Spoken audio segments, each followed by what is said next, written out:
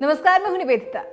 भारत के पूर्व प्रधानमंत्री और महान कवि अटल बिहारी वाजपेयी ने जन्म और मौत पर एक कविता लिखी थी, दूर कहीं कोई रोता है। इसी कविता की कुछ पंक्तियाँ हैं। जन्म दिवस पर हम इठलाते, क्यों न मरण त्योहार मनाते? यानी जन्मदिन तो सभी लोग मनाते हैं, क्यों ना हम मरण दिवस को भी किसी पर्व या त्योहार की तरह मनाएँ? कहीं ना कहीं अटल जी की ये बात राष्ट्रवादी कांग्रेस पार्टी यानी एनसीपी के कद्दावर नेता देवीदास त्रिपाठी की ज़िंदगी पर पूरी तरह चरितार्थ होती हैं, जिन्होंने 2 जनवरी को ही दुनिया को अलविदा कह दिया। उनका निधन कैंसर जैसी घातक बीमारी की वजह से हुआ। डीपी त्रिपाठी को पता था कि उन्हें कैंसर है लेकिन इसके बावजूद वो आम कैंसर पीड़ितों की तरह नहीं थे। वो जब तक रहे ज़िंदा दिली के साथ ज़िंदगी को जिया। डीपी त्रिपाठी की इसी ज़िंदा दिली के बारे में उनके पत्रकार साथी हेमंत शर्मा ने बताया कि उन्हें जब पता चला कि कैंसर है तो उन्होंने दोस्तों को पार्टी तक दे दी। डीपी त्रिपाठी जिसने मौत को भी जश्न में बदल दिया। डीपी त्रिपाठी जिसने जब तक जिया, खुलकर जिया। डीपी त्रिपाठी जिसने कैंसर होने पर दोस्तों को पार्टी दे दी और कह गए, कल अस्पताल में भर्ती होना है। फिर क्या होगा, पता नहीं। कैंसर से लड़ने के बाद 2 जनवरी को डीपी त्रिपाठी का जब सड़सठ साल की उम्र में निधन हुआ तो युद्ध में अयोध्या जैसी लोकप्रिय किताब लिखने वाले वरिष्ठ पत्रकार हेमंत शर्मा ने उनके साथ बिताए दोस्ती के पल को साझा करते हुए जो बताया, वो हैरान कर देने वाला था। उन्होंने बताया देवीदास त्रिपाठी यानी मित्रों के डीपीटी के अंतिम संस्कार से लौट रहा हूँ। मनुदास है। यारों का यार चला गया। पर ये सोच तो डीपीटी के स्वभाव के खिलाफ है। बीते तीन साल से वो मौत की आहट सुन रहे थे और उस आहट को लगातार उत्सव में तब्दील कर रहे थे। हर रोज उनकी मौत से ठन रही थी, लेकिन मित्रों के साथ छन रही थी। उनके याराना और उनकी बैठकी को ये आहट भी रोक नहीं पाई। आज बहुत कुछ याद आ रहा है। पत्रकार हेमंत शर्मा ने साल 2016 की एक घटना का ज़िक्र करते हुए बताया, वो साल 2016 की सर्दियाँ थी, डीपीटी का फ़ोन आया। हेमंत जी परसों मित्रों के साथ रस रंजन है। वीणा को भी लाइएगा। कोई पंद्रह बीस मित्र हैं। कुछ मित्र नेपाल और पाकिस्तान से भी आ रहे हैं। लिखिए पहले, आप भूल जाते हैं। मैंने कहा, आऊँगा। उन्होंने कहा, पहले लिखिए। मैंने पूछा, अवसर क्या है? उन्होंने कहा, बहुत रोज से बैठकी नहीं हुई है। मैं अपनी पत्नी के साथ गया, पुष्प गुच्छ के साथ। याददाश्त पर ज़ोर डाला तो पाया कि डीपीटी का जन्मदिन तो सर्दियों में ही होता है। वही होगा। सांसद के नाते फिरोज शाह रोड के उनके बंगले पर आयोजन था। विदेश सचिव जयशंकर, अशोक वाजपेयी, पुष्पेश पंत, नेपाल के समाजवादी नेता प्रदीप गिरी और पाकिस्तान के कोई शायर थे। वहाँ जाकर पता चला डीपीटी का जन्मदिन नहीं है।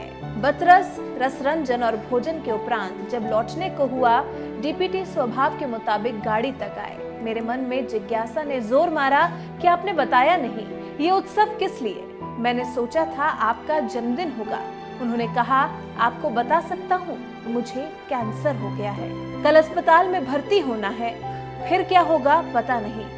इसलिए सोचा अस्पताल जाने से पहले दोस्तों के साथ शाम गुजरे। मैं सन्न रह गया। रास्ते भर सोचता रहा, आखिर ये आदमी कैसा है? उनकी विद्वता, यादाश्त और वक्तृता का लोहा तो मानता ही था। आज मौत के प्रति उनकी दृष्टि का भी लोहा मान गया। पत्रकार हेमंत शर्मा ने बताया कि जिसे मॉडर्न सोसाइटी में कॉकटेल कहते हैं डीपी त्रिपाठी उसे रस रंजन कहा करते थे। डीपी त्रिपाठी के स्कूली शिक्षा के बारे में बताते हुए हेमंत शर्मा ने कहा, अपनी शारीरिक कमज़ोरी को अपनी काबिलियत बनाना कोई उनसे सीख सकता है। उनकी दोनों आँखें खराब थी। स्कूल में इस शारीरिक कमी का लड़कों ने उपहास बनाया। फिर उन्होंने स्कूल जाना बंद किया। भीतर ही भीतर कसकते चले गए। वहाँ उनके पिता की चाय की दुकान थी। उसी दुकान पर बैठकर उन्होंने समाज का अध्ययन किया। फिर सीधे आठवीं में दाखिला लिया। महाराष्ट्र से एनसीपी सांसद रहे डीपी त्रिपाठी ने राज्यसभा में अपने अंतिम भाषण में हफीज होशियारपुरी के हवाले से कहा था, मोहब्बत करने वाले कम न होंगे, तेरी महफिल में लेकिन हम न होंगे। पत्रकार हेमंत शर्मा ने डीपी त्रिपाठी को याद करते हुए बताया, यही ज़िंदा दिली उनकी पहचान थी। उन्होंने ज़िंदगी का एक एक लम्हा जिया, खुद को बनाया, संवारा और अपने समाज को भी परिष्कृत किया। डीपीटी अपना पार्थिव शरीर छोड़ गए हैं, पर स्मृतियों में सदैव जीवित रहेंगे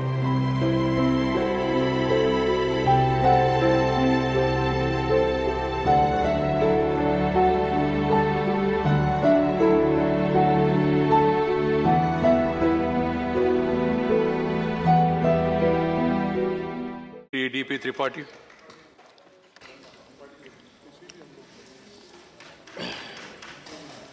Mr. Chairman, sir, I thought that today I should begin with Bahadur Shah Zafar, but then later I came to the conclusion that it would be better describing the present situation if I begin with Kalidas. Kalidas Raghuvansh के पंचम सर्ग में लिखते हैं कि राजा रघु सब कुछ दान करके गरीब हो गए। उनके पास कुछ नहीं बचा। तो कह रहे हैं, जो आपकी स्थिति ये है, वो सबसे अच्छी और आदर्श स्थिति है। जैसे कि देवताओं द्वारा पिए जाते हुए चंद्रमा की कलाओं का क्षय उसकी वृद्धि से ज़्यादा श्रेयस्कर होता है। कालिदास का श्लोक है स्थाने भवाने कनराधिप सन। अकिंचनत्व मखजम व्यनक्ति। परयाय पीत सुरेर हिमांशो कलाक्षय श्लाघ्यतरो ही वृद्धि। मतलब इसका यह है कि प्राप्ति से बेहतर त्याग होता है। और आज मैं आपका समय अपने बारे में बात करके या अपने नेता श्री शरद पवार के बारे में बात करके, नहीं नष्ट करूँगा, वो तो सब किताबों में लिखा हुआ है, मीडिया में है। लेकिन जीवन में राजनीति के 50 वर्ष पूरे करने के बाद, उन्नीस सौ अड़सठ जब दसवीं में पढ़ता था, तब पहला प्रदर्शन किया, आज 2018 है। लेकिन मुझे वो दिन याद आता है, सभापति जी, जब मुझे साढ़े चार महीने भूमिगत संघर्ष करने के बाद इमरजेंसी में, लाल किले के में जाँच के बाद तिहाड़ ले जाया गया तो सुबह साढ़े चार बजे वहाँ मेरा स्वागत करने वाले व्यक्ति आज इस सदन के नेता हैं श्री अरुण जेटली, जिन्होंने चार बजे कहा, आ गए, बहुत देर से इंतज़ार था, बैठो बैठो। तो ऐसा साथ रहा है। मैं आप सभी का आभारी हूँ, अध्यक्ष महोदय, उपसभापति कुरियन साहब का। तमाम नेताओं का समय बचाने के लिए नाम नहीं ले रहा हूँ। But what I have to speak today after learning quite a lot from this august house is to make a critical examination of our role what we have been able to do what we have not been able to Because the great Swedish poet Thomas Transtromer, who got the Nobel Prize for Literature, his one sentence is very relevant when you analyze the functioning of this House and Parliament in general in democracy. Truth needs no furniture. This is the sentence. At times, truth is bare and stark. Why I say this? In the last six years, roughly 48% of the time of the House during all these sessions that I have said was wasted in disruption. Disruption as a kind of a semi-permanent strategy should not be allowed. Look at the House of Commons, there is no adjournment for a single day. House of Lords, it is unimaginable. We have to make certain arrangements for that.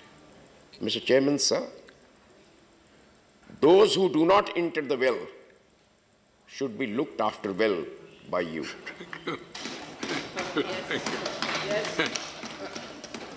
Second point is that in the last six years, the women's issues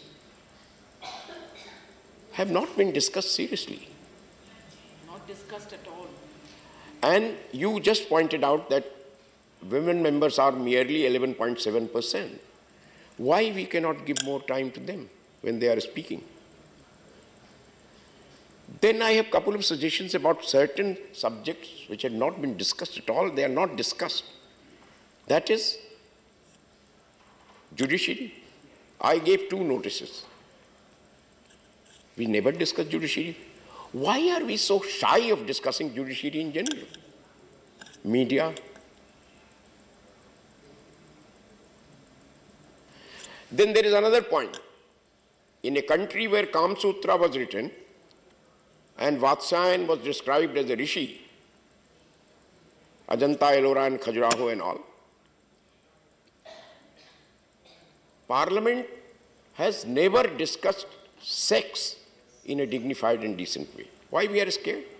There are two great leaders of India, Mahatma Gandhi, who discussed sex in his own way, Dr. Ram Manohar Lohia. He is the last who discussed and wrote about sex, especially in association with women's rights. Lohia ji का प्रसिद्ध लेख है लोहिया रचनावली खंड पाँच में पढ़ लीजिए योनि शुचिता और नर नारी संबंध ये लेख according to one study in the next five years about million young Indians are going to die of sexual diseases. And the parliament is scared of discussing this. Why? I admire two members of both houses. One, Sri Rajiv Gowda of this house, and Sri Shashi Tharoor of Lok Sabha, who tried to raise these questions. These are important matters. Everybody, time, please. Huh? Now, I will not take much time. Uh, however, uh, I will certainly talk about this August House. When I think of these 50 years of my life, I got to learn many things in this house and affection of many leaders, many leaders of the country, which is now written in books from, I mean, Sri Atal Bihari Vajpayee to, after all, I had the privilege of being cellmate of Nanaji Deshmukh for few, uh, few days, and then we were together. So, so many during the emergency, and then after the emergency, I got so much affection of Rajiv Gandhi, Jyoti Basu Harkishan Singh, Sujit, Chandrashekhar ji, कितना नाम गिना है? सभी नेताओं का वो मिला। That is because of democracy run on the basis of a human relationship that is what is most important in a democracy and in a democracy and in parliament specially the government should have its way but opposition must have its way that is very important there is I will just point out about my, when I felt that was the best day, though this was during a tragedy, which was my best day in Rajya Sabha. That was in 2013, 23rd of August. When this House unanimously passed condolence resolution about again about uh, Narendra the great rationalist who was murdered by obscurantist forces. He was killed on 20th uh, August 2013. And I'm gra grateful to the then leader of the opposition, who is now leader of the House, Sri Arun Jaitley, and then the treasury benches, we all, UPA, especially the Congress party, that everybody unanimously. Editorials were written in national press about my role as coordinating this. That was the best. Which was the saddest?